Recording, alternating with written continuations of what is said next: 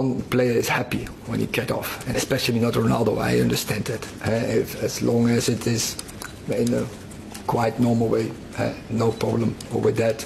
Eh, uh, he has, of course, he has the convincement um, he should stay on and he should score a goal. Uh, that is why he's that, that good.